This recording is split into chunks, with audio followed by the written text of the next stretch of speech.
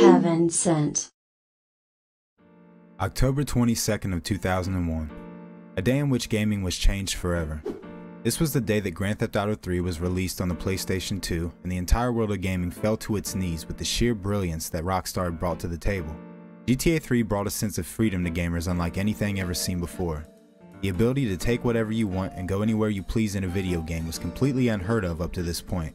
And with GTA 3 scratching that itch for its large player base and accumulating over 14 million sales worldwide, the standard was now set. Many other developers were looking to cash out on the crime wave that was hitting gaming in the early 2000s. Not only was GTA 3 one of the most ambitious and well thought out games to change the course of how games could be played, it also showed the world how mature and gritty games can really be. Gaming was evolving, from chasing high scores and platforming to now telling full-blown stories with deep character analysis and dialogue to match. Video games went from being what was viewed as a child's hobby to being something that adults could sink their teeth into and get lost in for hours. It was with this transition that many GTA copycats and other crime games alike were developed and released in quick succession. While some developers capitalized on the demand for dark and gritty storytelling, others were blinded by tunnel vision and solely focused on being as GTA as possible, with little to no success. But there were a few IPs spawned in this era that managed to deliver some truly incredible titles throughout the years, such as the Mafia series or the many Hitman titles. Bit of foreshadowing there. Now let's fast forward to August of 2006. It was a hot summer day as I skated to the mailbox to check for my monthly copy of Game Informer magazine. It had arrived and was immediately piquing my interest as I gazed upon the two shifty characters illustrated on the cover art. Who could these characters have been, you may ask? Well, none other than Kane and Lynch. While I was a young man at the time, I was truly a junkie when it came to anything crime related in gaming and movies. With video games being a way to experience these insane storylines with no real consequence, it was a no-brainer that I alongside many other young men were always looking for our next fix of debauchery. And this game absolutely looked like it was going to be a hefty dose. And upon reading the 9-page spread that was written on Kane and Lynch, I was excited to say the least. The long-winded article was joined by Kane and Lynch's game director, Jens Peter Kurup as he gives us a rundown on the unstable alliance of Kane and Lynch and what made them stand out as gaming protagonists. In this article, he explains the fact that the pair are almost a duality of each other. While Kane being a calm, calculated yet dangerous man, Lynch is purely a storm of violence and delusion that can only be contained upon his ingestion of antipsychotic medications. Alright, this is gonna be good. Sign me up. This article also covered the plot of the game, and if reading this dark and twisted setup for a brand new action-packed crime game in 2006 wouldn't have blown your sister's skinny jeans off you, I don't know what else would. What was the plot exactly? Well, in short, one half of our psychotic duo Kane is being transported on a prison bus to his execution. A voice in the back of the transport warns him to get down, and before he can even react, their vehicle is struck by a semi causing him to lose consciousness.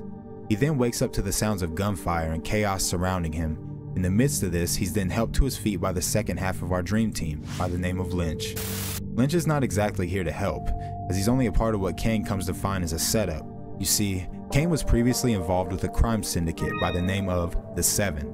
He had allegedly got the better end of a heist and escaped with all the money, leaving the members of the Seven for dead. While he thought he had gotten away with it, it seems that the surviving members of the Seven have used Lynch to facilitate Kane's kidnapping and is now forcing them to work together to pull off a series of heists in order to pay back the money that Kane had allegedly stolen. And with his wife and daughter's lives on the line, he's willing to work with the likes of Lynch to make it happen. But Lynch isn't just an everyday criminal. Oh no. Like we said previously, he's a medicated psychopath with unpredictable and violent urges. So, how's this gonna work? Well, in short, it doesn't. Not even in the slightest.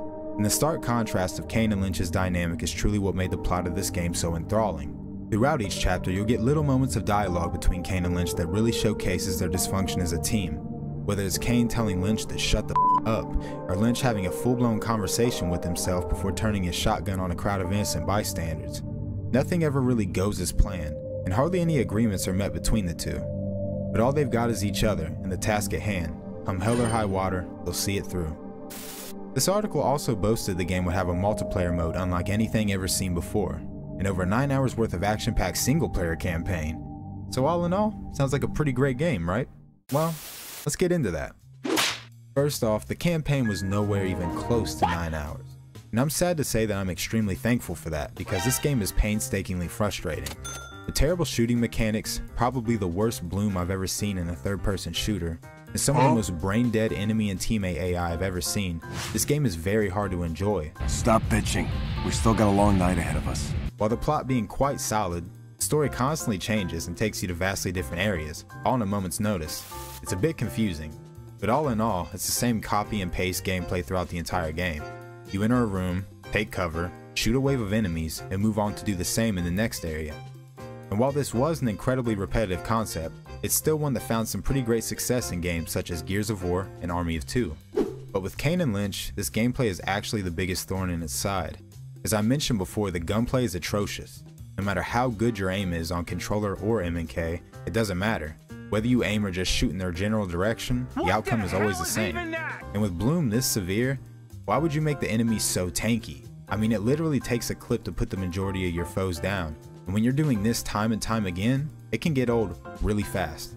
The majority of the game is spent with Lynch by your side, and although he loves to follow you around, it's rare that you will ever catch him in a good fighting position, or even connecting a single one of his shots for that matter. Lynch is basically just there for the most part.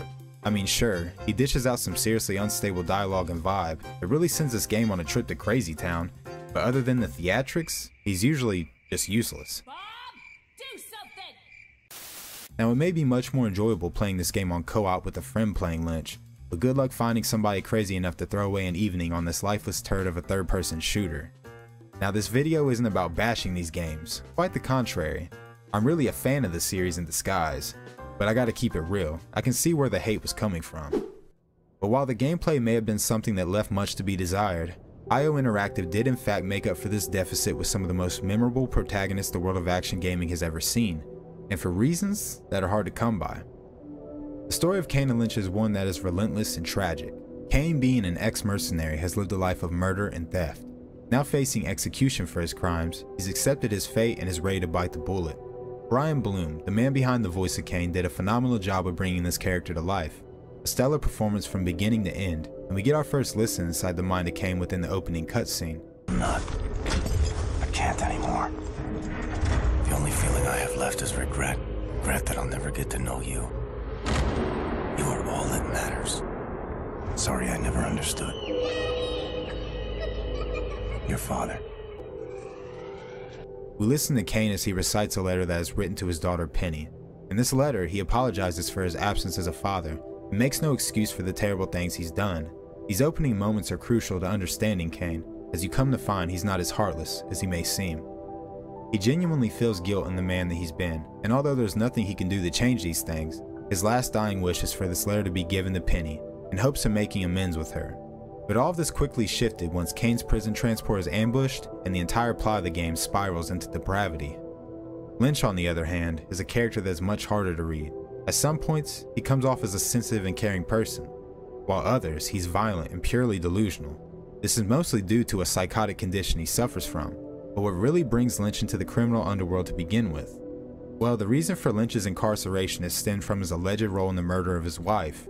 While he doesn't directly admit that he ever killed his wife, it's strongly suggested that he did, and you'll come to piece that puzzle together with the many flashbacks supplied throughout the story mode. Both of these characters are not your typical duo that's seen in movies or gaming. They're both highly unlikable and non-trustworthy people who seem to have no regard for themselves or anyone around them, the exception to that rule being Kane's family and Lynch's trusty shotgun. The two are an unsavory bunch, but much like a horrifying film, Kane and Lynch has an atmosphere and story that is hard to look away from. You see, in my opinion, Kane and Lynch Dead Men could have been an amazing game, as they seem to have nailed the hardest part of making a game memorable. That lies within creating an engaging plot and memorable characters, which IO Interactive did very well in my opinion. But going back to the Game Informer article that was printed before the release of Kane Lynch, the director of the game, Jens Peter Kurup, was making claims that this game was going to have a lot more content than what we were given at release.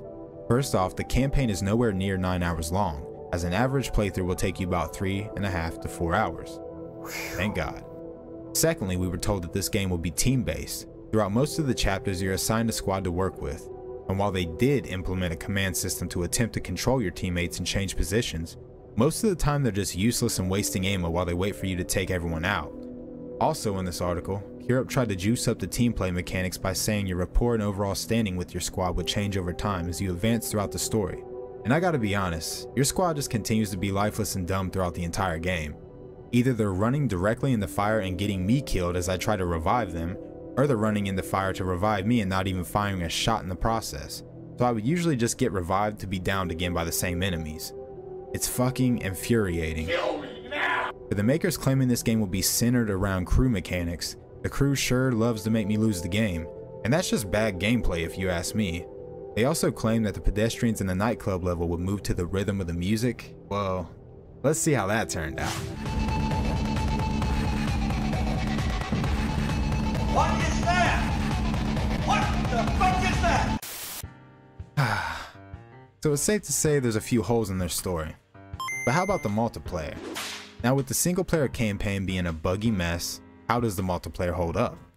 Well in short, much like single player, the multiplayer is loaded with potential, but executed quite poorly. And with multiplayer mode being called Fragile Alliance, I'm sure you see where this is going. Fragile Alliance is essentially a series of extraction missions, such as bank robberies and other various heists. You go in with a team of other online players, shoot your way to the loot, grab as much as you can, then meet up at the extraction point to escape with the cash. But the kicker is, all your criminal scumbags that you're playing with can actually kill each other after the looting process is over with. And as you can probably imagine, this was a total nightmare experience for most players back in the toxic days of 2008 Xbox Live gaming.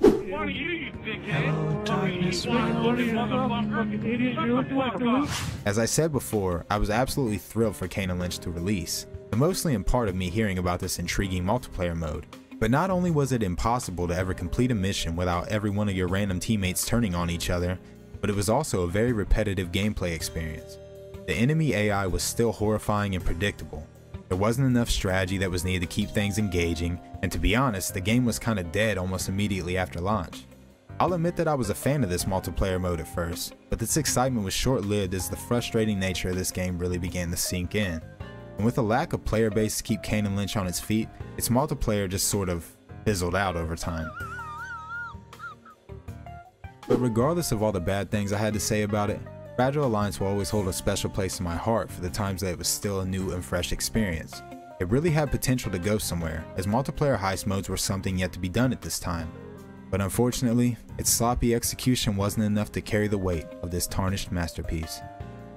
All in all, the game didn't really back up any of Kurup's claims, but a couple of interesting characters and an interesting multiplayer mode should have been enough to score this game some decent press, right?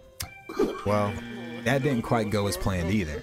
You see, back before YouTube was stacked to the gills with reliable and independent content creators for game reviews, we had to depend on the big dogs, and one of those dogs being none other than GameSpot. GameSpot was a typical source for people to read up on the latest releases and find out what game they were willing to spend their hard-earned cash on. But when it came to Kane and Lynch's mediocrity being uncovered on a GameSpot review written by Jeff Gerstmann, boy did shit hit the fan. Jeff was pretty much stating in this article the same thing I just said to you. The game has its pros and cons, while it's ridden with flaws and a lack of promised features, the game still has its charm, and he gave it a pretty decent score overall at a 6.0.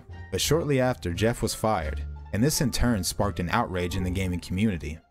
A lot of accusations were fired at the creators of Kane and Lynch, but it actually turned out that Sony was threatening to pull advertising due to this review, resulting in the higher ups at GameSpot claiming Gerstmann to be unfit as a reviewer, and then catered to Sony by letting him go.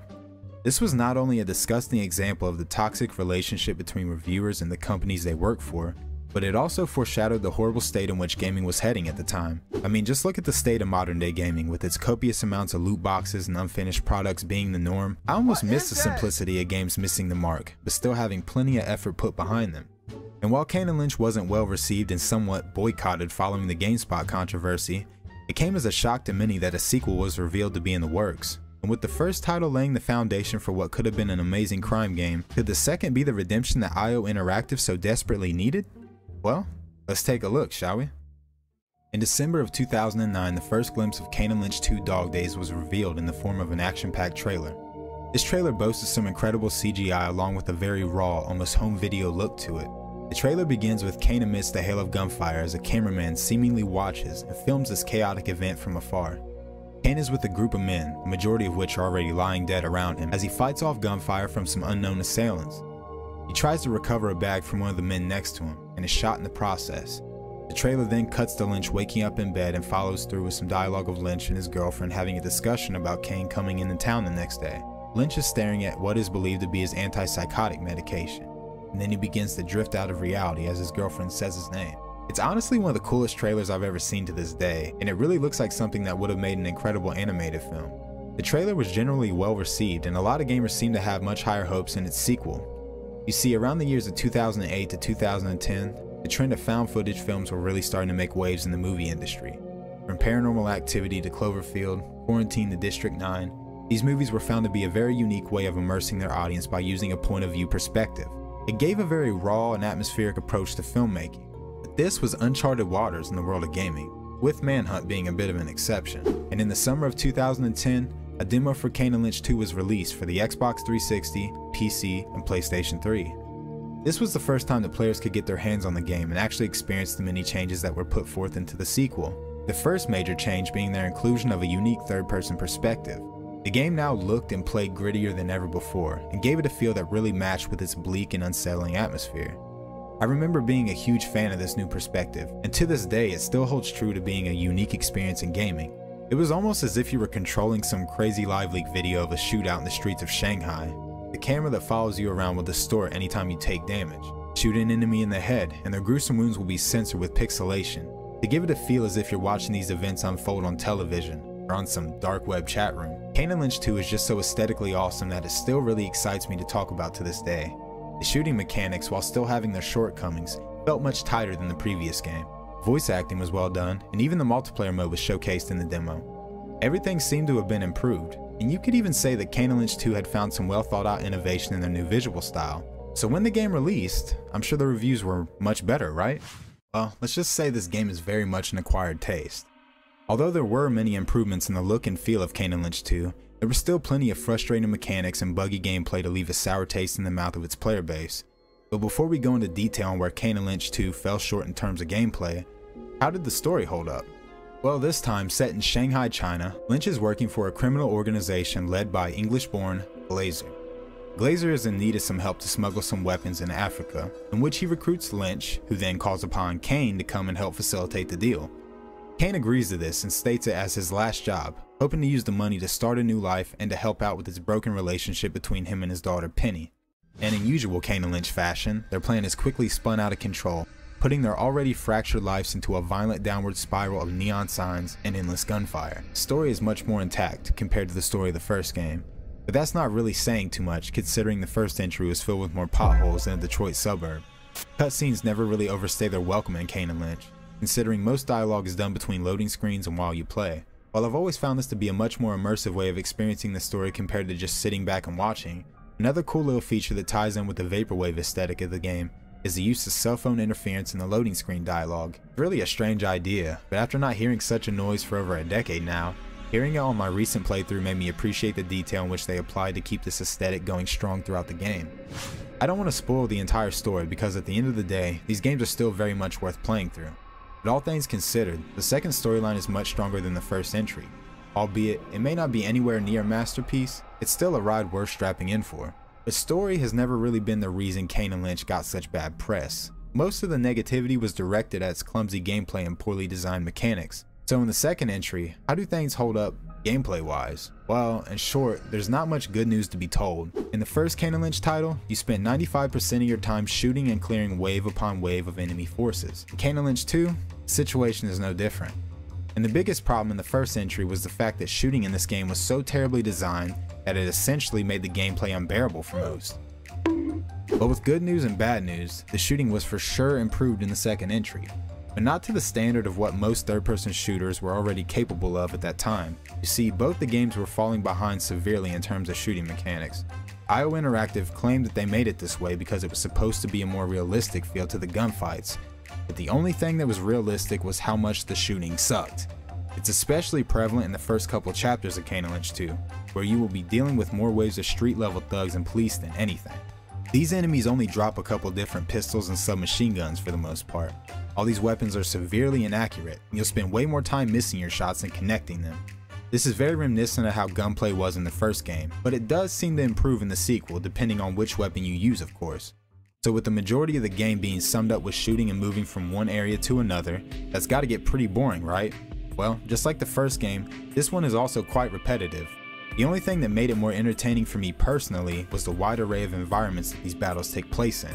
A good amount of the fights are pretty mundane, but there were a few select moments where you really feel the danger and immersion in these shootouts. From shooting your way through a gang infested marketplace littered with dirty DVDs and neon lights, to having a shootout inside a crime boss's very own high rise headquarters, some of the levels are brilliantly designed, and pairing those intense moments with stylish documentary style aesthetic really makes you feel like you're a part of something much bigger than your typical video game. So while both of the games in the series are severely repetitive, it's still a pretty enjoyable experience, especially considering you can finish the game in around 2 to 3 hours. It doesn't overstay its welcome too much, and any fan of a good crime thriller would have to appreciate the raw intensity that this game provides. Now let's take a moment and talk about the multiplayer. Fragile Alliance is back with a vengeance, and this time has a much more solid feel to it. I remember playing it back when the game first released, and it was a hell of a lot more fun considering the shooting had been improved and the map selections were all very well put together. Now that's not to say you didn't still have lobbies full of toxic teammates who would never let anyone make it out with a little cash in their pockets, but I never really had a problem with that once I could actually put some accurate shots on them. It was actually something I embraced because it added a little more intensity to the extraction-esque objectives each map had, and if you really think about it, extraction games are pretty common nowadays. But back when Kane and Lynch were doing their thing, that type of multiplayer had never really been heard of before. So that's another point for innovation in my book. They also added an offline arcade mode so that you can enjoy the multiplayer mode without internet, which was great for people like me who lived in a house completely devoid of internet. Imagine that. They were also kind enough to add both on and offline co-op support so you could play throughout the story mode with a friend. Overall, Kane Lynch 2 was still drowning in mediocrity when it came to its gameplay, but there were definite improvements made, and it stands to be one of the most unique shooters I've ever played.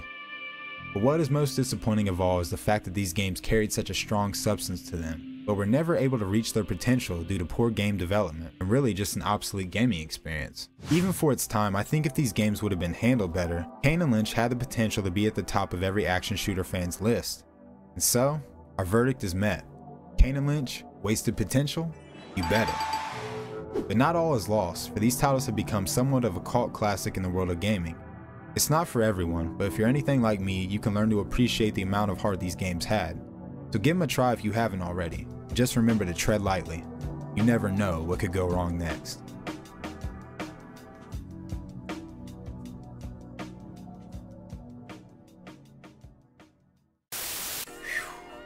What a wild ride that was. And as much as these games are ridden with bugs and frustrating mechanics, I gotta say they've really grown on me since making this video. I mean it really is a shame that they couldn't meet their true potential, but overall both games are still very much worth playing. But that's all for today. But before I go, I just want to thank all the new subscribers that have joined the channel recently. Y'all have been showing insane love and I really can't thank you enough for being a part of this journey. Writing and video games are my two biggest passions, so to have people that appreciate what I do just feels amazing, so thank you. But until next time, my name is Vincent, hope to see you in the next video, and hope you stay blessed. Peace.